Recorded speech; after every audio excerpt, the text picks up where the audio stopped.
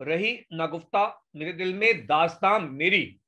रही न गुफ्ता मेरे दिल में दास्तान मेरी।